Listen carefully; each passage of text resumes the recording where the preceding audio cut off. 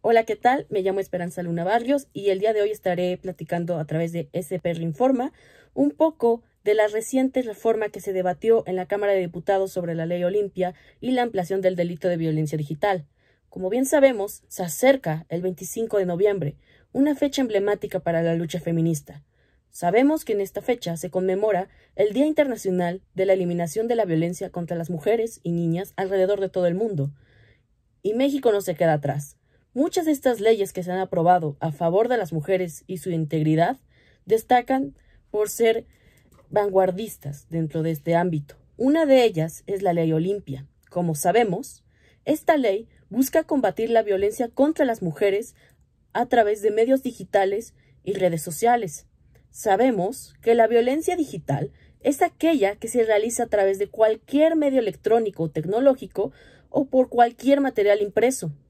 A través de estos medios se expone, se distribuye, se comercializa y o se comparte audios y o videos de contenido sexual sin el consentimiento de una de las partes. Generalmente son las mujeres las que padecemos de este delito.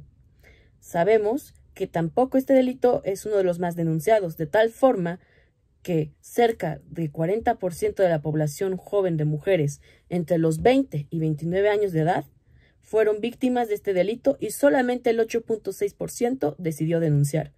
Dentro de este pequeño porcentaje, lamentablemente, el 83% de las denuncias ni siquiera se resuelven o ni siquiera se investigan.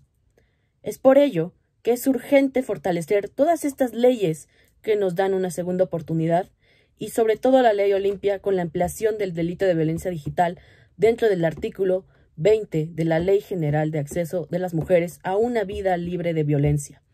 Este dictamen se aprobó por unanimidad de los 480 diputados presentes en el Pleno. Enhorabuena.